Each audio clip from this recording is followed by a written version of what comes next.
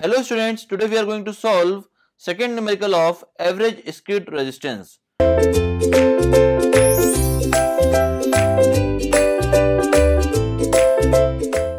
Question is written as find out the coefficient of friction if vehicle is stopped within 1.8 seconds and speed of vehicle is 40 km per hour. It means that we have to find the value of coefficient of friction if time is given as 1.8 second and speed of the vehicle is given as 40 km per hour.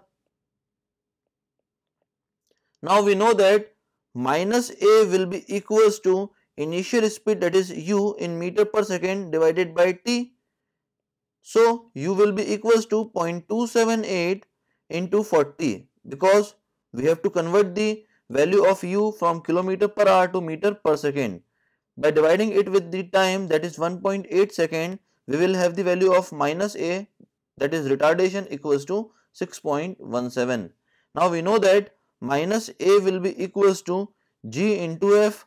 So from this we can determine the value of f which will be equals to minus a by g. Now the value of minus a will be equals to 6.17 and the value of g will be equals to 9.81. On solving this, we will have the value of f equals to 0.629.